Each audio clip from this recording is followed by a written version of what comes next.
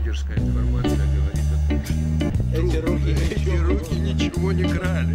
Здесь собеседника не было, если там есть Генкин, если там есть Генкин, то другой собеседник мне гораздо более симпатичен. Я приветствую наших зрителей. Сегодня понедельник и эфирное время программы «Доживем до понедельника» в эфире. А, наша программа Григорий Гельфер, Евгений Гендин и Елена Кальянова. А, мы как Добрый обычно, вечер. с вами Добрый вечер. сегодня в студии. На протяжении программы а, работаем мы в прямом эфире.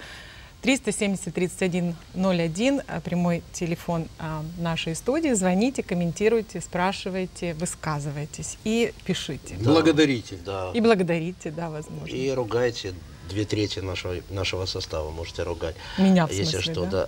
да. Две трети тебя. Я напоминаю, что Facebook, прямая связь, пишите, комментируйте. По ходу самый лучший способ, чем вот это вот, это вот звонить.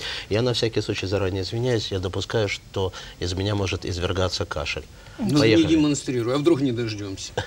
Поехали. А, Я хочу сказать, что сегодня а, на самом деле праздник. Сегодня Международный день волонтера, он, в общем, существует уже э, 30 лет. Это международный праздник. И для Украины, конечно, э, волонтеры и этот день, они актуальны, особенно э, по вот э, таким подсчетам предварительным, 23% населения Украины, то есть около 10 миллионов э, человек, так или иначе были связаны с волонтерским движением, помогали э, деньгами, медикаментами, одеждой, либо там просто личным участием в каких-то, так сказать, событиях. Это очень благородное, нужное дело, оно очень достойно. Я всех волонтеров поздравляю с праздником. Я думаю, что каждый большое, из да, нас тоже в какой-то спасибо. степени Да, два слова, да, да.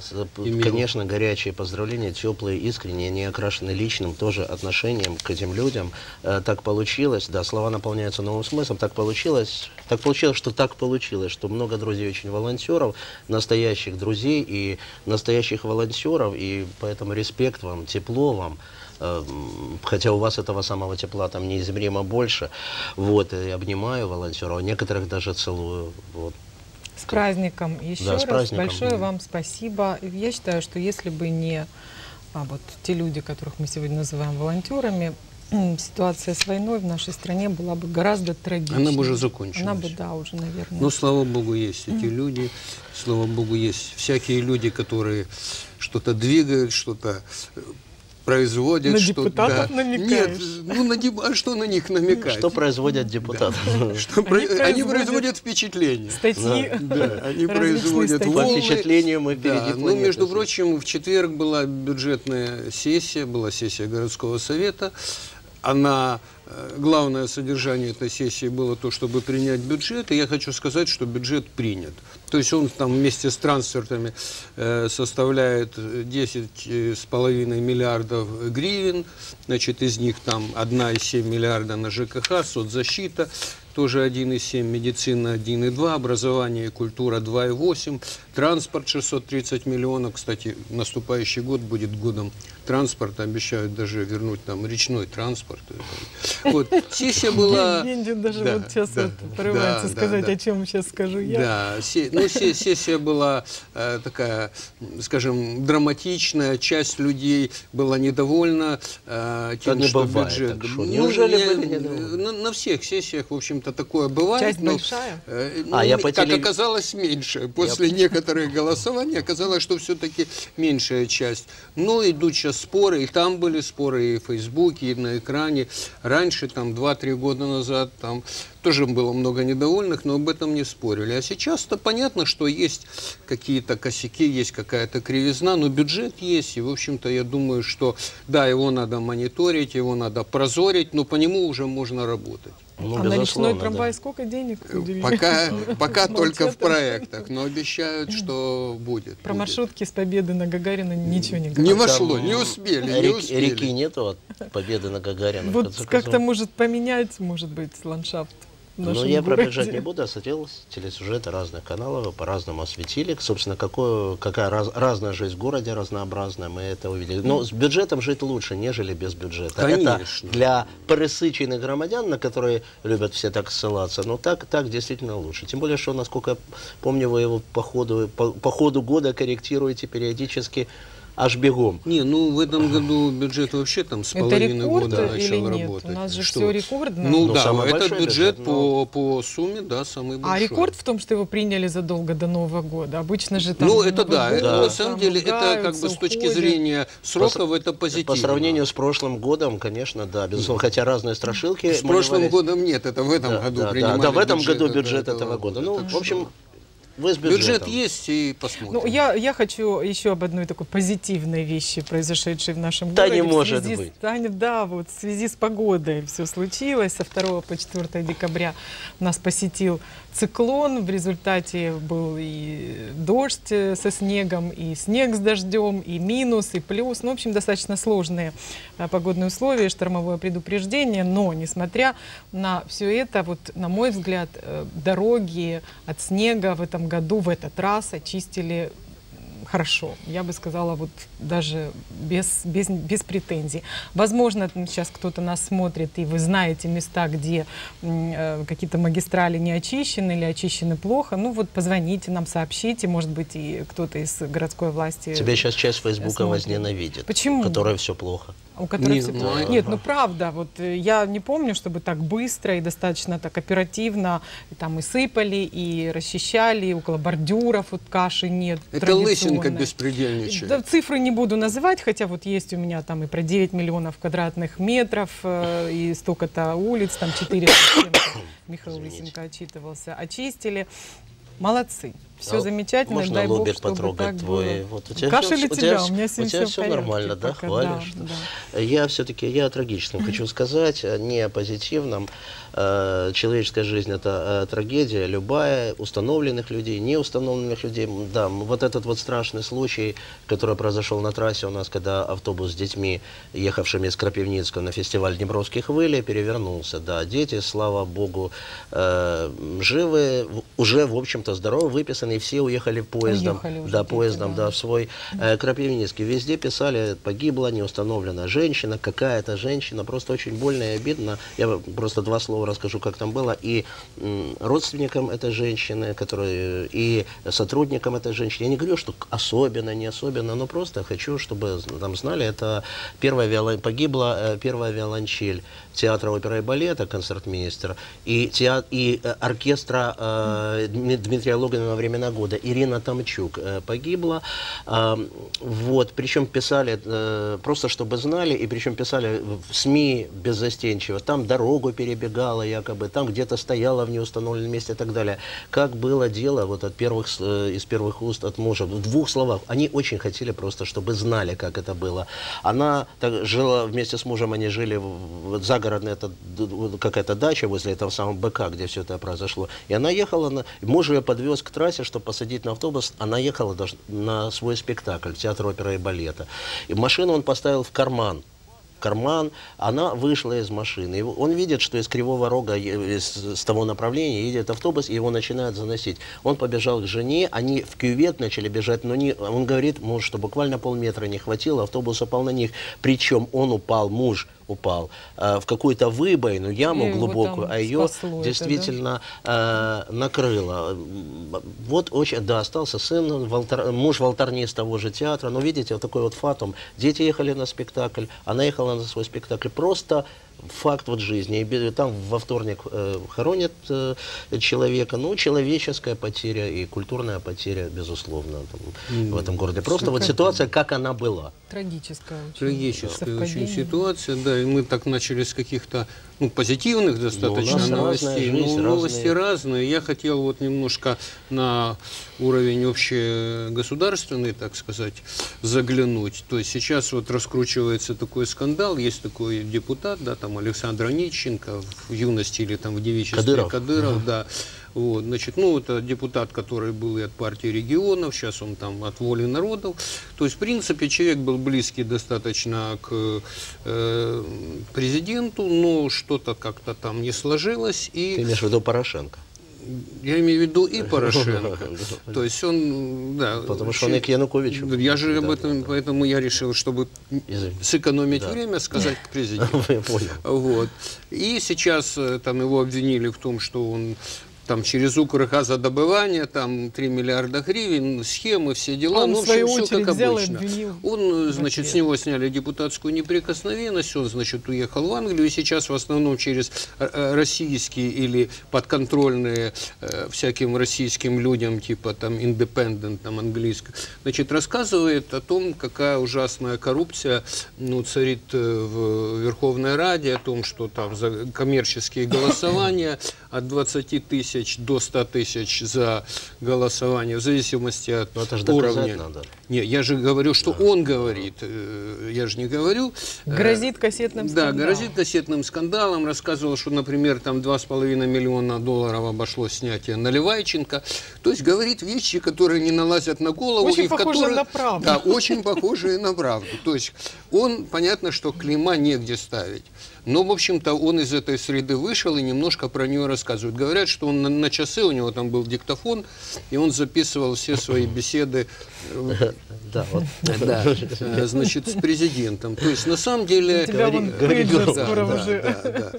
Вот, э, я просто считаю, что, да, это действительно похоже на правду, и мало кто, наверное, сомневается, что какие-то такие или подобные вещи там а, происходят. То, что это человек, э, как бы, который сейчас работает на нашего, так сказать, врага, это тоже понятно, да.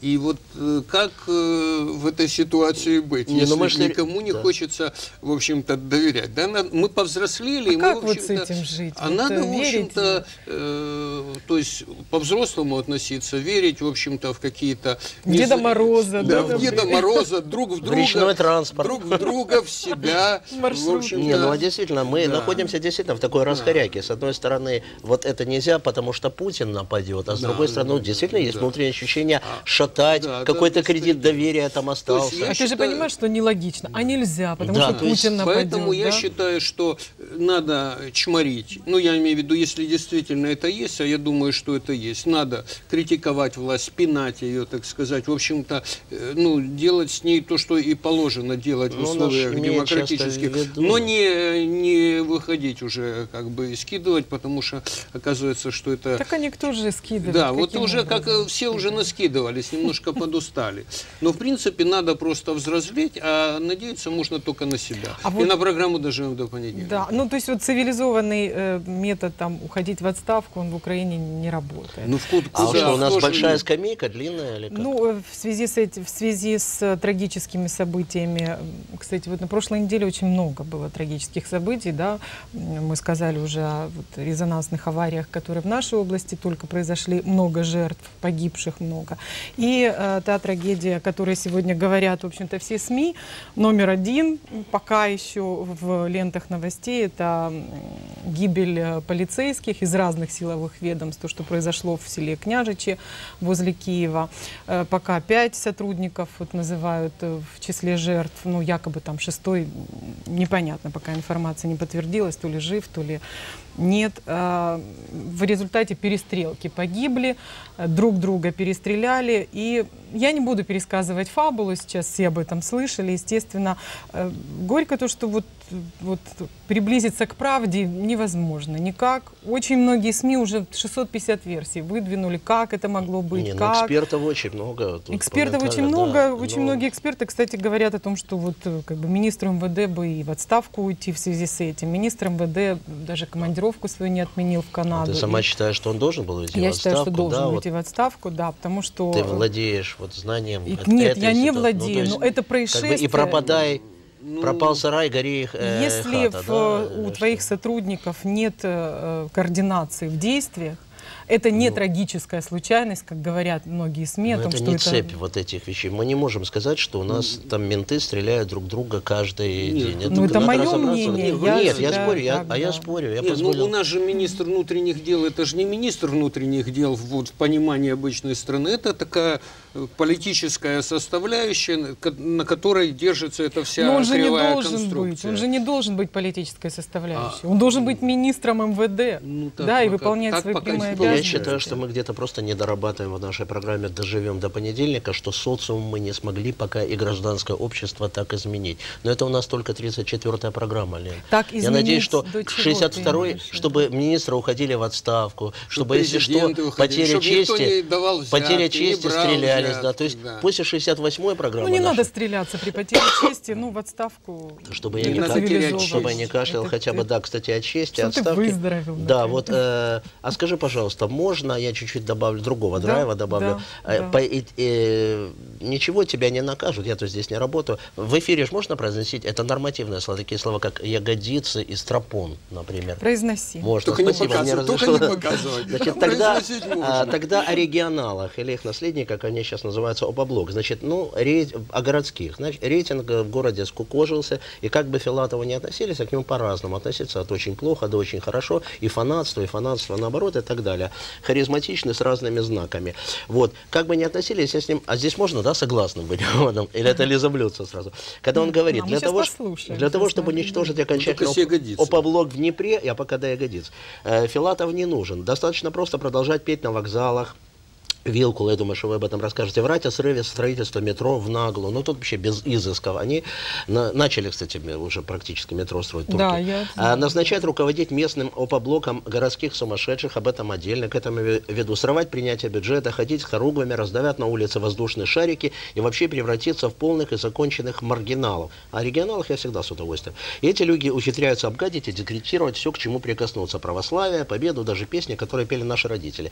Вот он здесь упомянул городского э, руководителя городских регионов. Это некий Сергей Анатольевич Суханов, хороший знакомый. Значит, я, он порадовал в наше трудное время, то есть, когда Как нужны поводы для радости, да, он любит радовать, да. Что он написал? Борис руководит городом два с половиной года. Тут все начали чесать репу. А потом вот она что. Она, оказывается, кроме года его, он считает, когда булавка была, это тоже филат. Дальше, вот как он, Он пишет. Нельзя ни слова, ни слова из классики убирать. Что пишет городской э, Суханов? Он пишет, как ее назначали, помню. ОПГ Филатова тогда захватила обладминистрацию. Отжимали бизнес, надо, конечно, чтобы музыка типа Магнолия ТВ. Отжимали бизнес, похищали людей, пытали, убивали сотрудников СБУ, да и простых украинцев. Правый сектор на газелях собрал депутатов и прямо в трусах и ночнушках, сессия, кстати, днем была, ну неважно, привез горсовет. Привез дневнушку, заставили выбирать булавку. И она руководила городом под полным контролем ОПГ Филатова. Мне понравилось, народ очень живо откликнулся. Мне понравился коммент Санжары. Там правый сектор забирал мальчика в трусиках, приводил их к депутатской присяге, потом переодевал в ночнушку, потом заставлял голосовать и только потом распинал под бендеровский гимн «Ешь снегиря, синицу жуй, гоняя на газели, убивая ворой». Шок власти это скрывали. Я хочу сказать, что вообще с трусиками у них, вот с мальчиками, трусиками, ночнушками, у них вот очень как-то связано. Какая-то такая влажная такая озабоченность, эротично, то как, ночная сессия, хоть она и днем Ну, была. кому как, Ну, я кого не- это волнует. знаю. Ночнушках, на газелях, в труселях. На слух не вот. И люди, кстати, многие пишут, что жаль, что на самом деле вот так не было. Некоторые жестокие э, бендеровцы об этом пишут. Я в заключение хочу спеть песню, я хочу доставить радость моим, моим, хриплым своим простуженным голосом, э, радость моему лучшему другу Александру Ну, Юрьевичу Вилкулу. На его, хоть, не, а, хоть и на, хоть, да, вот я спою, да? хоть и не на вокзале, но по этому поводу есть знаменитая песня вокзальная, вот потому что написал Суханов. Только она ужасная. Расцветали яблони игрушки, процветал бензеровский нацизм. Привозили рыга всех ночнушках со стропоном между ягодиц. Поехали Ну, дальше. уже ты Ну, куда уж дальше, уже приехали. А помнишь, Львенок и Черепаха, какая хорошая песенка, почему ты так не говоришь? Я... У нас песенная неделя Да. выдалась. Не, на Мы самом деле, поговорим ну я думаю, что, ну мы Гендину не подпели, правильно, Ну, наверное, я плохо сделали, пою да, вообще совершенно, особенно гораздо такие хуже слова. Да, но на самом деле вот этот э, флешмоб, он же, ж, на самом деле его корни, э, ну я имею в виду этот петь по вокзалам, то есть на самом деле это же пошло... Петь по вокзалам, Да, петь по вокзалам, это же началось вот в России, то есть они вышли, начали петь там украинские песни, ну, как бы обозначая, что, видите, мы же братья, мы же одни песни поем. Ну, и здесь вот тоже, э, значит, ну, вот то, что пел Гендин, только в оригинале, значит, и пел, э, значит, Вилкул, и пели вот в Запорожье, пели в Харькове, пели в Одессе, снимали там с коптерами, значит, все, ну, такие, то есть проект был очень... Ну, я видела на ОРТ эту программу, Да, и на ОРТ, ну, это для. ОРТ и снимали. Заказчик. Да, для ОРТ снимали, значит, ну, разные песни. Песни, они же не виноваты, они хорошие. Ну, если петь песни Матвея Блантера, то почему не петь там Джон Грей или «Сталин, наша слава боевая». Он на самом деле был очень плодовитым композитором. Выбрали вот именно А в украинской Катюшу. Википедии, кстати, написано «Катюша», а, еврейская песня, музыка Блантера, слова Исаковского. Да, Исаковский авторы, был, да. кстати. Так что и- тут я- евреи. Ну, нет, э, ну просто э, я думаю, что вот эта попытка такого песенного русского мира, ну как, а что нас, в общем-то, ссорить, если мы уже и песни Это одни и те же по вокзалам поем. То есть, на самом деле, ну, это, по-видимому, от непонимания ну, вот той реальности, которая произошла за это время. А песни, они действительно хорошие. но Думаешь, я это в от непонимания? Есть бюджеты, Думаю, есть да. бюджеты, Не, не, не, которые я думаю, которые от ментального непонимания. Ну, потому что... э, Я ну, думаю, это как раз от очень хорошего понимания, и есть конкретный заказ, конкретные Нет, заказ цели. есть. Я вот когда я- на ОРТ сказали, что а, они поют э, вот такие песни на вокзалах, они хотят в Россию. Нет, Украина хочет ну, в это ж для Россию. внутреннего Нет, потребителя, это для да. внутреннего потребителя. А в России поют украинские Ну, песни, как бы с таким верят. посылом, да, там типа распрягайте хлопцы кони, дескать, видите, мы вообще... Там не, нам не чего- показывали, как они поют Нет, украинские я- песни. нет, они показывали- начали, нет, так в этом же весь смысл, что э, в России поют украинские Да, песни, видите, мы к вам, видите, как хорошо, мы поем распрягайте хлопцы кони. Один народ. Да. Старая мы один казацкая, народ, у нас, да. А народ. у нас одни песни, то есть вот это вот как А бы, а ну, песни они не, не- не виноваты, они не виноваты, они просто хорошие. да, они Матвей Блантер был хороший композитор. Ну и песенную, песенную тему, э, опять же, вот э, Вилкул э, продолжил на прошлой неделе. Было такое громкое заявление в средствах массовой информации о том, что команда Вилкула и он лично, Александра Вилкула, добились э, того, что днепропетровские казачьи песни, казацкие песни внесли в список э, ценностей ЮНЕСКО. Это большое событие, ну, теоретически событие достаточно ну, хорошее, нормально. Но э, вот как-то сделано это все странно. Почему? К чему я говорю? Вот вы, например, можете вспомнить хотя бы одну казацкую песню Днепропетровщины? Днепропетровщины. Именно Днепропетровщина. Не распрягайте хлопці кони, а вот, вот, вот именно нашу местную. Вы что-нибудь знаете о них? Ну вот это Иха, Вилкул. Не, вот это, Я не вот знаю, это например. Привязали Галю, там вот это что она горит, да, там вот это самое. В ночнушке. Причем. Ну, правда, вот это, хорошая вот вещь, да. Был определенный период в истории, а он родил определенные песни. Я лично, не знаю, вот я вижу и вы тоже, вот мы об этом мало знаем. Почему э, вот как бы не направлены усилия команды на то, чтобы популяризировать их как-то, ознакомить нас, как-то сделать достоянием вот Выйти на вокзал чтобы мы могли спеть, гордиться, да, выйти на вокзал, в конце концов, вместо Катюши спеть, там, да. Это караоке А сделать. вместо этого да. вот такая красивая оберточка, такая блестящая, ЮНЕСКО. говорится, мы в ЮНЕСКо. Петриковка уже получила ЮНЕСКо и ничего от этого не получила, собственно Может, Коломбо. ЮНЕСКО? Нет, ЮНЕСКо. И, и якобы есть вот правила да, в этой организации о том, что подобные а, проекты, которые вну- вносят в списки, они получают деньги потом на развитие, на пиар. Петриковка ничего не получила. Э, Недополучила. Я не понимала, зачем Деточка, тогда где ты хочешь, чтобы они жили по правилам? Я хочу, чтобы сначала людям, а потом вот э, Не людям. организации. А что ты сделала по жизни, чтобы Вилкулу чему-то учить? Я не учу, Кто ты боже, боже упаси. это. Я Об- просто обзовись. удивляюсь, но Э, меня это э, обратило. Я маленькую паузу в культуре сделаю, а то у нас ее слишком много всегда. этой Да культуры. ладно, ну, ты-то да, не еще много надо успеть. Коротко, все-таки культура, она ж э, не так, э, она далеко, конечно, от алкоголя. Алкоголь, об алкоголе, о страшном хочу сказать. То, что с особым Какая садизмом... песня без Да, баяна. с БДСМом, таким с садизмом перед Новым годом над гражданами нашими. Ну, может быть, это шаг. Я-то не такой же прямо алкоголик. Ну, мы приняли бюджет, Вот, там я это пока- учтено. Да, да, значит, э, цены на алкоголь, все знают, выросли. Даже ты знаешь, что выросли цены на, на алкоголь? Нет. Вот, девочка, На Теперь буду 30 знать. выросли, выросли. На твою водочку, на твой джинчик, мою на, твой ромчик, на все. Водка с 54,90 до 70 минимум. Откуда ты это, так цены Это хорошо за знаешь? пол-литра. Я мониторю э, фискальную- службу. На мою водочку. Фискальная служба со мной советуется. Все же для блага народа. Виски, ром, джин вообще на 40% для гурманов до Да ты 70, что? пи- 750 гривен за литр. Это для тех, кто литр Белое сухое итальянское вино тоже? ну, оно натурально, натуральное вино до 33. Но, думаю, твое вино вряд ли туда входит. Шампань 40%, коньяк вообще. Но говорят, что не будет некачественной продукции, суррогата, все будет чистое, как слеза, как лоза. То есть, игра-то- Но, может быть, грядут э, вообще сухой закон, Великая депрессия. Это ж красиво. Бутлегеры, джаз, бенды, это все очень красиво. Банды, Я не Чикаго. знаю, посмотрим на этот шаг. Я не буду гнать на этот шаг. Но, но люди гнать, думаю, будут. Самое главное, следим за сахаром. И Ну, в крови, как ты думаешь, и за ценами на сахар. Посмотрим. будут чаще после этого там казацкие песни или... Может, А. родятся Старые. новые какие-то. Давайте, там так мало, нам У нас не очень много времени, вам сказать. придется вернуться к культуре. Культуре опять, потому я что А там что-то про вот я Саакашвили. хочу Давай пожертвуем Да ну, культуре. Саакашвили уже не Не, вот я хочу лучше время. сказать про барабанщика 12-летнего Варфоломеева Диму. Из Little Band, это мне позвонил Владимир Марховский сказал, что он по- победил в Харьковском драмфесте среди барабанщиков 12 лет ему и занял первое место. Хорошо, поздравляю. А про доску ты не А про доску я хочу сказать, что мы все будем свои в доску, потому что э, за, нет, послезавтра в 14.00 Среда, седьмое число. да, открытие по адресу улица Староказацкая, бывшая Комсомольская, Староказацкая, 74, на доме, где родился Александр Галич, Александр Аркадьевич Галич, великий наш бард и земляк, будет открытие мемориальной доски. Приглашаем всех.